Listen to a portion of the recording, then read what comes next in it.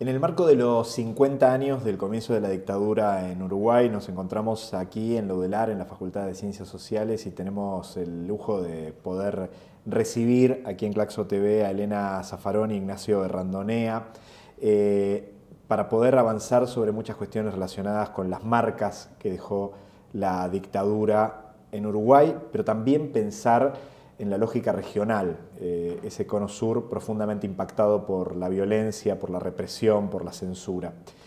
Eh, Ignacio, Elena, muchísimas gracias por estar aquí en, en Claxo, un placer. Gracias a ustedes. Eh, ¿En dónde estaban hace 50 años atrás? ¿Y qué era lo que vivían? ¿Y qué era lo que presagiaban una semana antes de lo que después iba a ser el comienzo de la dictadura? Bueno, yo recuerdo, eh, hace 50 años era estudiante, supe ser joven, este, eh, era estudiante en secundaria, iba al Liceo Colón, vivía en Las Piedras y estudiaba de noche en la Sagrada Familia, hacía un curso de contabilidad. Tanto así que salí del curso del 26 y ahí vi el Palacio Legislativo rodeado por las Fuerzas Armadas. Era algo que esperábamos todos porque el proceso de violencia de terrorismo de Estado eh, había comenzado mucho antes, digamos que vivíamos desde el 68 en adelante, vivimos con medidas prontas de seguridad, en el 71 se votaron leyes de eh, pase a la justicia militar, de todos los, se suspendieron garantías individuales, estado de guerra interno, o sea que la disolución del Parlamento fue la gota que desbordó el vaso y que legalizó el periodo que estábamos viviendo. Elena.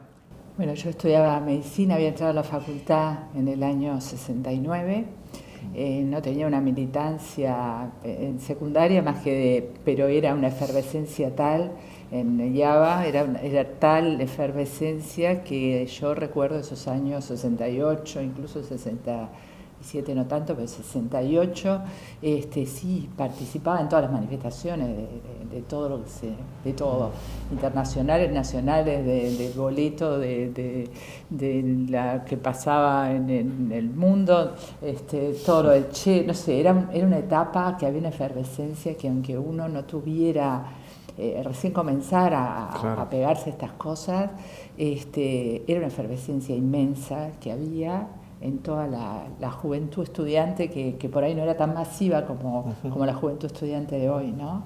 Este, eh, y bueno, y como dice Ignacio, ya en el 69, con las medidas prontas de seguridad y ya en facultad, con todo un enfoque de qué médicos queríamos ser, porque me tocó un plan nuevo y bueno, y con toda esa efervescencia sí me, me fui integrando más a una militancia gremial, estudiantil, de, la FEU, este, y el golpe, bueno, ya lo veíamos venir.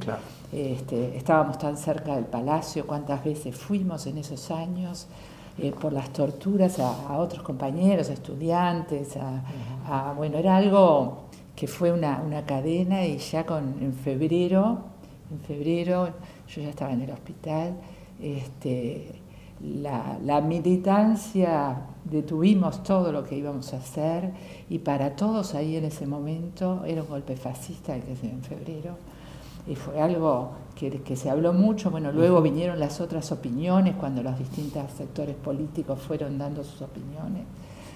Este, así que nos agarró ahí ocupando la facultad con la huelga general este, tampoco era que fuera hiper, hiperactiva, pero era ya una militante este, del centro de estudiantes este, totalmente comprometida en ese sentido y ya en el 73.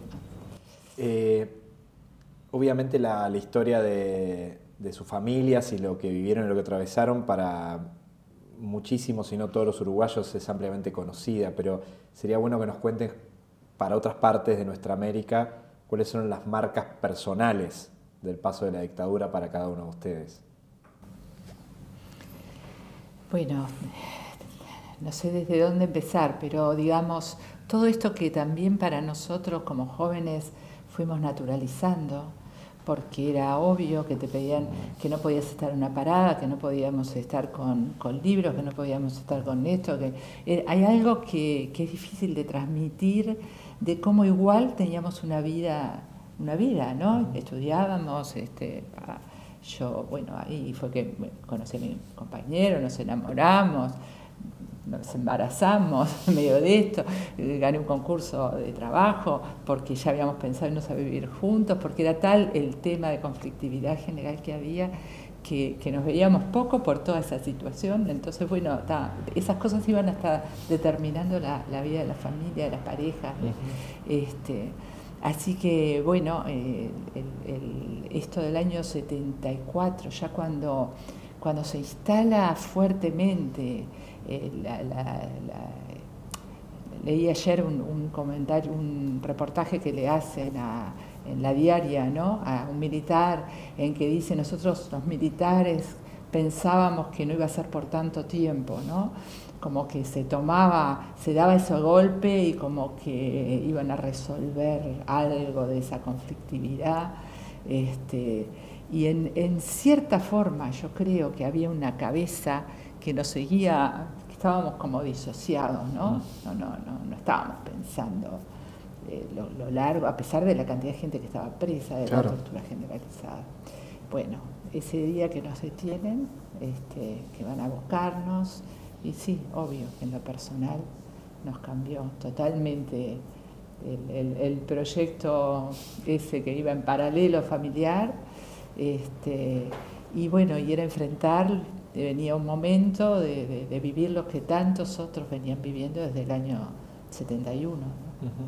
Este, las familias, más todavía las madres, eh, bueno,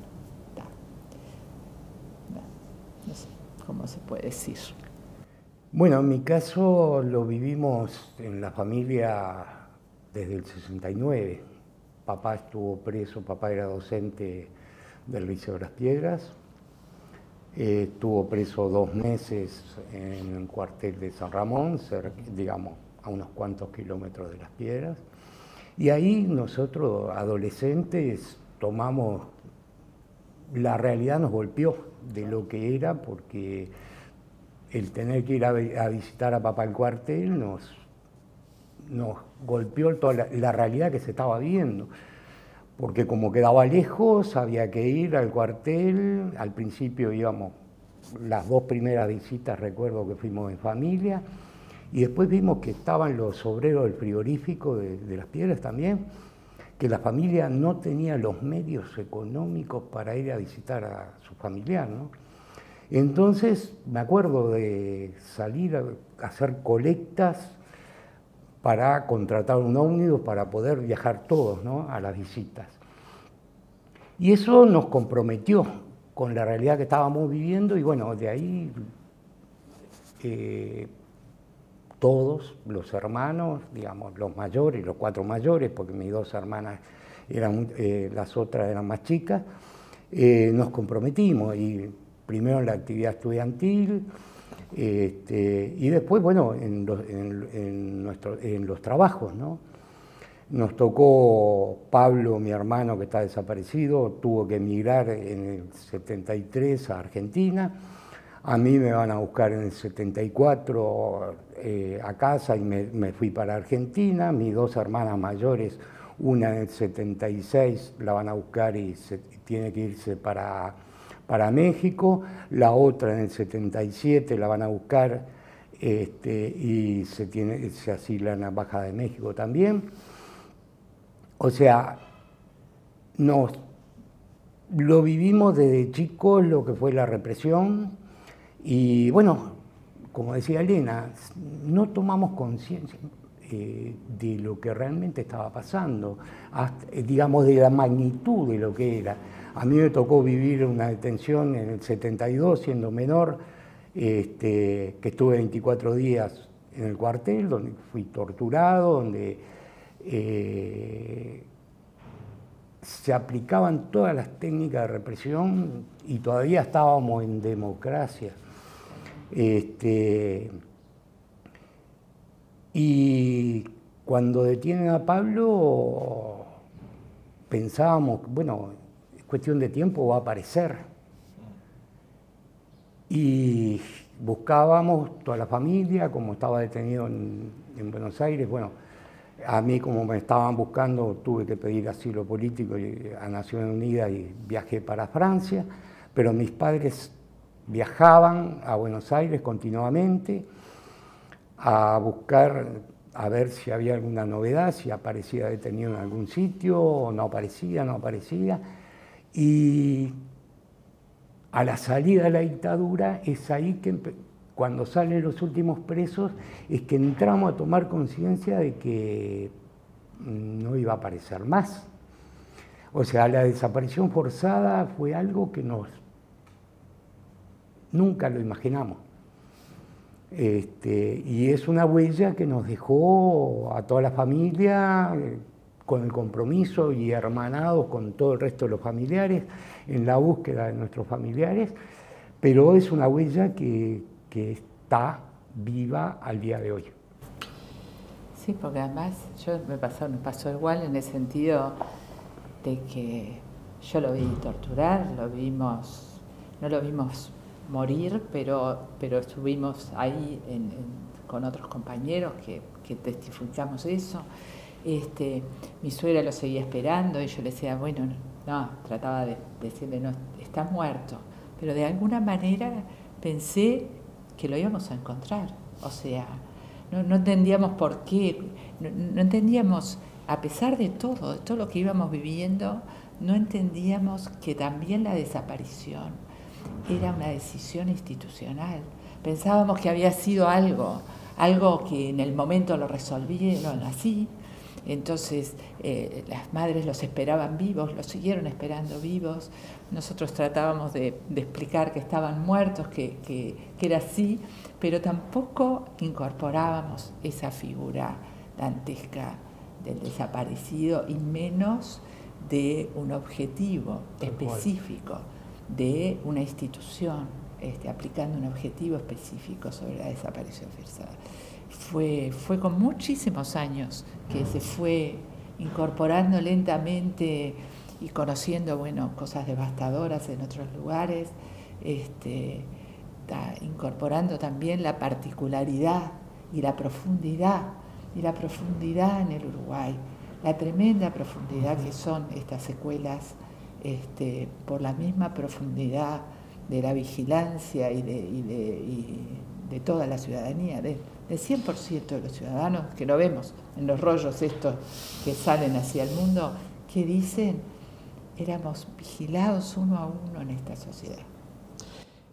¿Cómo, cómo se hace con el paso del tiempo y en las marcas de la democracia para convivir con negacionistas, para convivir con partidos militares, para convivir con declaraciones de gente que plantea que los militares están mal detenidos, los que están detenidos, eh, y cómo se hace para convivir con una parte de la sociedad que considera que hay que dejarlo atrás y que no hay que hacer justicia.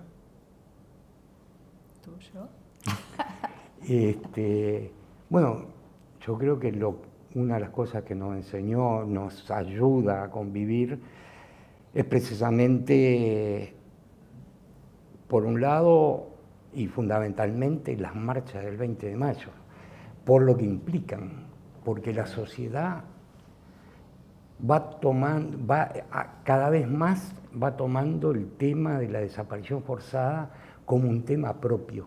Ya dejó de ser, porque eso nos permite ver el hoy, nos permite ver el camino transitado. Entonces, el que la sociedad tome la desaparición forzada, la problemática del terrorismo de Estado como algo propio, es que avanzamos. Avanzamos como sociedad en cuanto a tener conciencia que por nuestros derechos debemos pelear todos. No es casualidad, porque hablo de la marcha del 20 porque es la específica nuestra, pero es nuestra también la marcha del 8 de marzo, es, es nuestra también la marcha por la diversidad, que son las principales manifestaciones de la sociedad uruguaya, las más masivas, y son precisamente por derechos. Entonces, todo lo que la dictadura y todo lo que el terrorismo de Estado quiso destruir, poco a poco lo fuimos reconstruyendo y fortaleciendo como sociedad. Entonces, que existan negacionistas, van a existir. Hoy día, por desgracia, hay negacionistas sobre el holocausto judío. el que exista un partido militar, y sí, va a existir, ¿por qué? Porque en la sociedad uruguaya la familia militar es muy importante, porque somos uno de los países que en proporción a la población tenemos más militares. Y los militares, la dictadura militar, que eso son de las carencias enormes que tenemos como democracia, no ha sabido enfrentar lo que ha sido el poder militar. Los militares al día de hoy siguen pensando, los actuales, los actuales mandos, siguen pensando que estuvo bien lo hecho. Reivindican el pasado. Es más, a un torturador, un asesino, como fue el un marino que trabajó no solo acá en Uruguay, en la tortura y en, en las muertes, sino que trabajó en la ESMA, trabajó en Argentina, que un tribunal de honor diga actualmente, diga que es un ejemplo a seguir para las futuras generaciones, nos está dando un pantallazo de realidad de todo el trabajo que nos queda por hacer para recuperar realmente un país democrático, que tengamos unas Fuerzas Armadas que respondan al país, a la democracia. Cuando tenemos en los archivos, vemos los archivos, cómo se fichó a toda la ciudadanía, se categorizó en A, B y C, quien tenía categoría C estaba condenado al hambre, quien tenía categoría B no podía trabajar en el Estado. Cuando vemos, pero lo más grave es ver que ese espionaje, esa, ese trabajo de la inteligencia militar, se continuó en el periodo democrático como mínimo podemos asegurar, porque tenemos la documentación, hasta el 2004. Y nadie puede asegurar al día de hoy que no lo sigan haciendo. Cuando vemos que en esos archivos se fichó, se tomaron actas de ocupación de los liceos en los años 90 y esos jóvenes hoy ya están marcados para el futuro, porque eso está en los servicios de información de las Fuerzas Armadas y los condena para el futuro. O sea, el convivir con las secuelas es lo que nos permite ver todo el trabajo que tenemos por delante como sociedad para reconstruir un país donde realmente sea, un país democrático. Claro, claro, Elena, por favor. Sí, sí, sí, claro. Me parece que junto con todo esto que dice Ignacio, eh, el camino, me parece que el camino que tomaron las madres, eh, me parece que es el camino que nos marcó, ¿no? Porque las madres eh, denunciaron, denunciaron, denunciaron, tomaron ese camino, pudieron tomar otros, ¿no? pudieron en esa, en esa imposibilidad de todo este, generar una, una grieta, como dicen ahora, generar un. sino que ellas marcaron este, ese camino.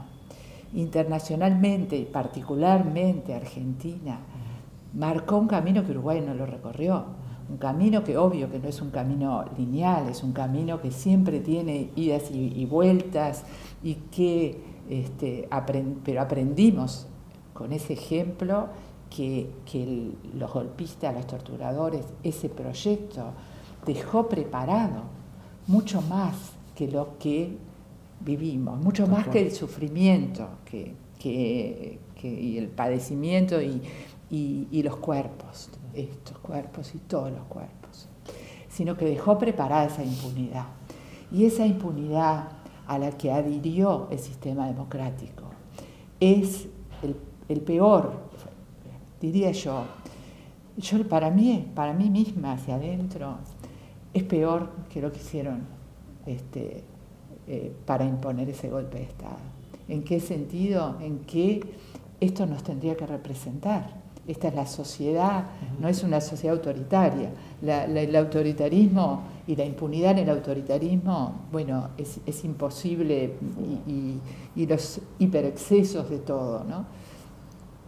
Que la democracia cerrara los, los juicios, cerrara la posibilidad de la denuncia, cerrara los caminos, cerrara, porque el negacionismo no viene de los militares. o sea, obvio que los militares y los golpistas, ¿qué van a hacer? Los asesinos, los criminales van a negar lo que hicieron. Este, pero fue ese primer gobierno que adhirió a ese negacionismo, pero que lo impuso y siguió. Y, ese negacionismo tan grande este, que, sigue, que sigue en cierta manera enquistado en, tantas cosas y en tantas políticas, porque en definitiva el golpe de Estado, ¿para qué fue? O sea, nuestras familias fueron víctimas por militantes, fueron víctimas, eh, o sea, querían cortar con toda la, la, oposición que podía haber, pero no fueron las únicas víctimas. La víctima principal fue la sociedad, esa sociedad que muchas no se, no se visualizó hasta el día de hoy, ¿no? Y fue para imponer algo, algo que necesitaba sacar a los sindicatos, sacar la, discusión, sacar la libertad de, opinión, sacar todo, imponer algo. Y ese algo, porque todavía acá no llegamos al fondo de los delitos económicos de esa época, ni de las complicidades económicas, ni tampoco los gobiernos democráticos se plantearon qué estamos siguiendo, qué, qué rumbo, ¿no? Entonces, esta causa, eh, guiada me parece por ese camino que marcaron ellas, este, que pretendimos que el Estado asumiera y asumiera, de a poco fuimos, se fue generando, eh, no es que la generamos nosotros, ¿no? lo generó la sociedad, fue generando esos espacios sociales de, memoria, de no olvido, de no al negacionismo. Y también de lucha, ¿no? También de, las banderas que, se levantan y esa marcha, como dice Ignacio, esa marcha, gracias también a que ellas marcaron no unirse, no pegarse a ningún sector partidario, aceptar de todos los sectores partidarios lo que venga que sea en el avance pero no ser parte de ninguno porque esta lucha, si no es independiente de todo eso, no va a lograr, no hubiera logrado lo que logró. Creo que, lo que logramos hoy, en medio de un gobierno eh, que realmente tiene sentado en su coalición todo lo que representa el terror, lo que logramos hoy de avances, eh, de avances de concepción, de investigación, de reconocimiento de cada, en cada ciudad, en cada lugar de lo que pasaron, son las semillas de la real prevención, aunque, aunque no, se, no tengamos, se nos cuelen, se nos cuelen los, lo que quisiéramos rápidamente, tener los cuerpos de nuestros desaparecidos, eso va viniendo también con esta fuerza. ¿Cómo, cómo vivieron dos... Eh, dos novedades de las últimas semanas. Una de ellas tiene que ver con los restos aparecidos en un cuartel militar y por otro lado, este reconocimiento por parte del Estado uruguayo en base al requerimiento de una Corte Internacional. ¿Cómo vivieron estos dos momentos en el marco de entender que por ahí va la justicia, no? No sé si va la justicia, creo que la justicia es imposible. Por ahí va un sentido de reparación y de camino, ¿no? Y me parece que, bueno, la aparición de cada, y más como aparece, cuando aparece así por ese trabajo milímetro a milímetro, porque no fue un dato nuevo, no fue nada, nada, nada aportado que no fue aportado antes, eh, que este equipo haya acumulado, sobre todo de, la sociedad o de, o de, algún testimonio de soldados, de algo que, pero fue en base a revisar y revisar y revisar durante años. Que apareciera esos restos, esta vez nos pegó a todos de una manera, ¿verdad? Con una angustia, con una mezcla con una mezcla primero de, la alegría de que uno más rescatado, una más este, de, esa, de esa oscuridad, era, siempre es algo que, que decís, pero todavía ahí para mí teníamos este, esa cosa horrible de la impunidad más fuerte, mucho más fuerte, porque estaban ahí, estaba ahí el ministro, estaba ahí el que, el que tiene que dar la orden y no la da, estaba ahí, todo, están ahí, ¿no? Bueno, todo eso. Creo que con el acto, el acto este que nos costó mucho, que soy parte de esa sentencia, somos parte del caso, pero que, estuvo lleno de obstáculos, igual que todo, a pesar de que de entrada el, el gobierno, en nombre del Estado, reconoció la sentencia.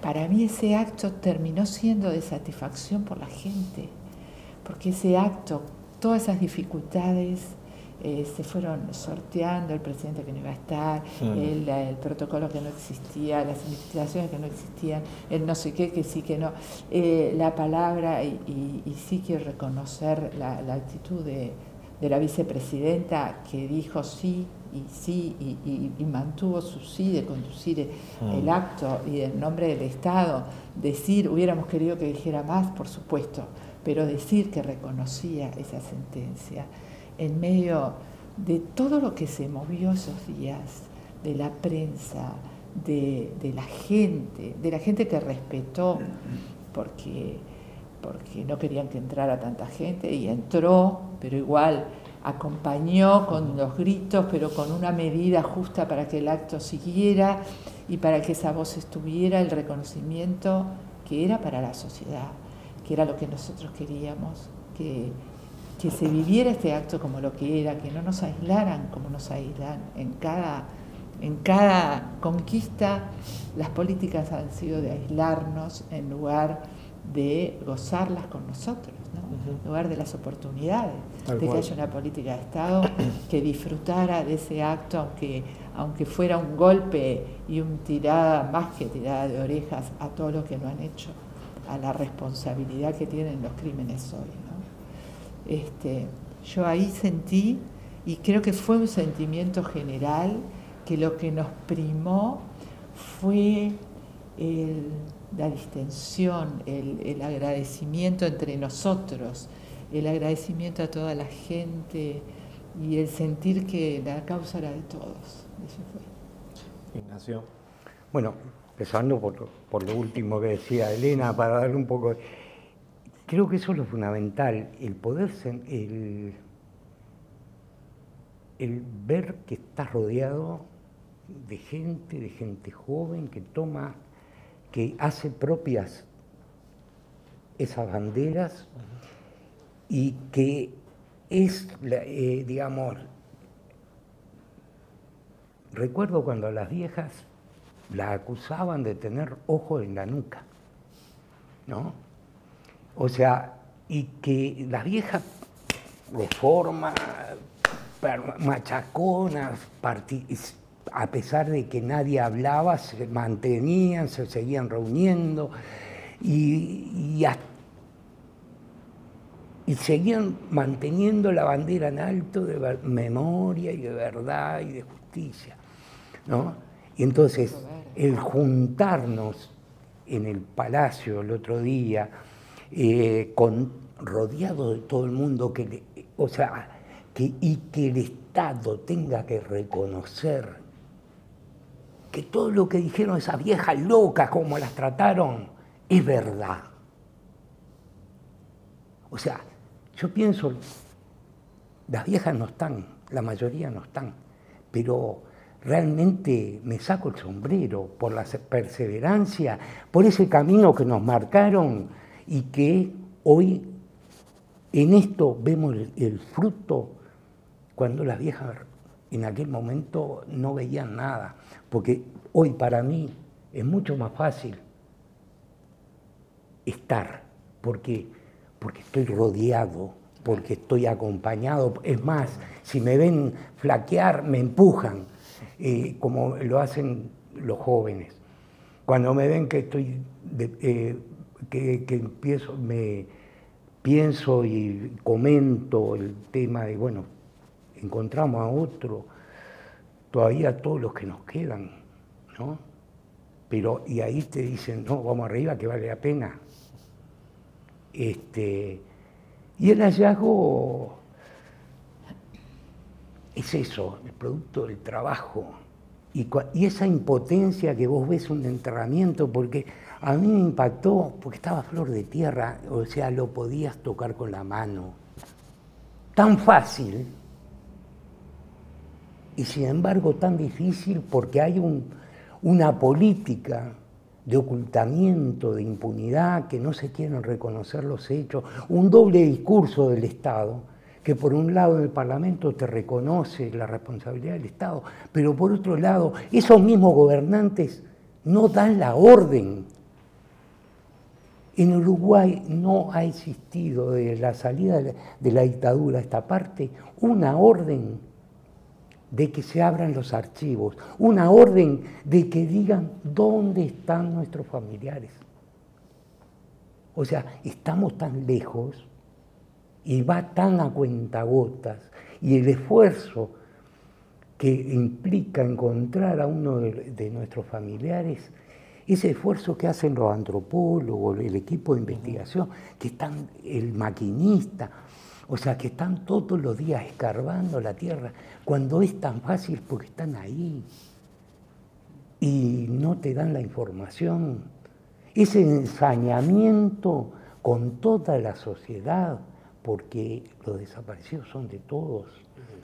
Entonces, ese poder militar que se mantiene a lo perro y que oculta y sigue ocultando a nuestros familiares. O sea, tenés la alegría porque no encontraste a uno, pero esa impotencia, sabiendo que con una orden podríamos avanzar más y que el sistema político no la da, eso te genera una impotencia y una angustia.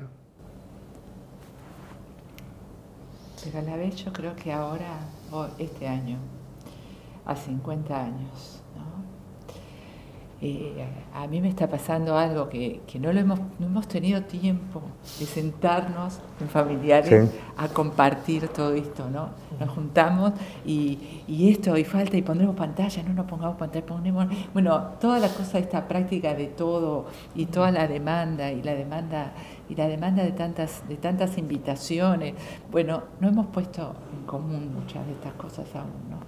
Pero yo estoy sintiendo con todas las actividades que hay este año, y con todos estos hechos, que, yo tengo esa percepción siempre, ¿no? que cuando esa energía empieza a fluir, hay algo como que, como que se empieza a dar, y se empieza a dar, ¿no? Y así aparecieron estos restos, en ese trabajo obvio, pero así apareció. Y entonces creo que, estamos más ahora en que cada uno puede hacer lo que debe hacer.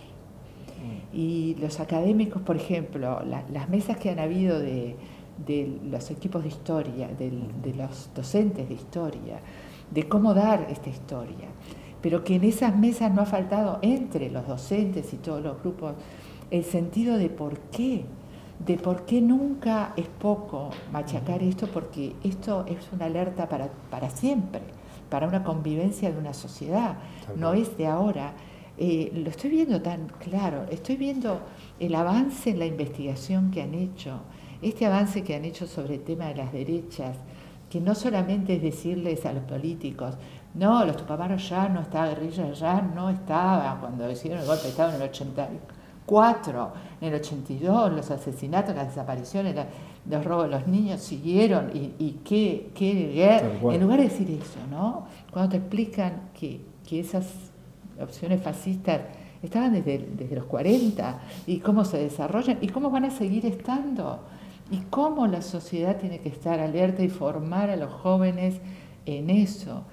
Como vemos en el, mismo acto, yo hago el cuento este de, un muchacho del protocolo, que era un caos el protocolo ese, y este muchacho dijo, no, Argimón dijo, no, obvio que no pueden entrar sin invitación, es hasta que hay el cupo de...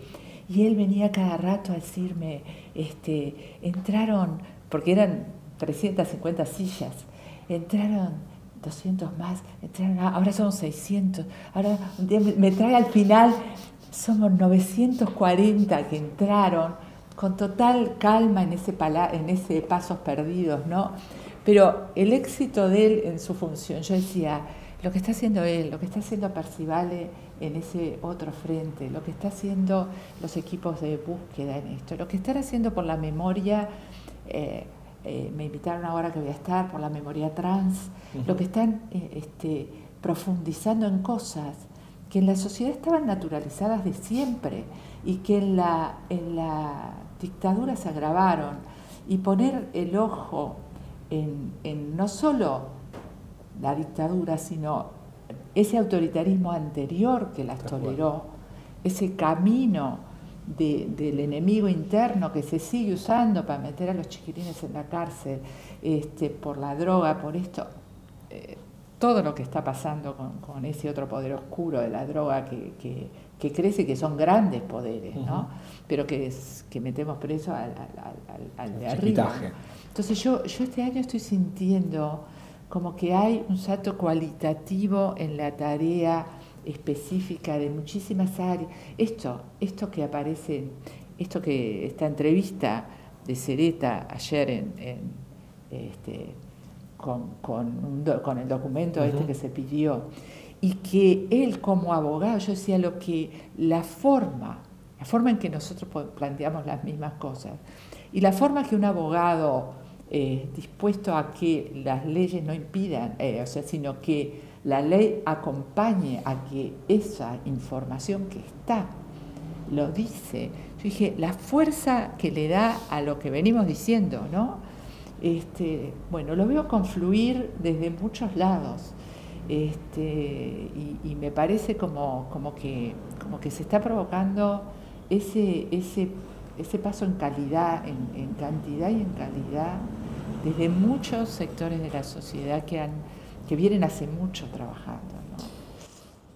Elena, Ignacio, les agradezco enormemente por la, por la entrevista este, y ojalá que esa energía de la que, tú hablas este, sea en el camino de la justicia. y Los debes son los mismos, los debes, estamos en los mismos debes.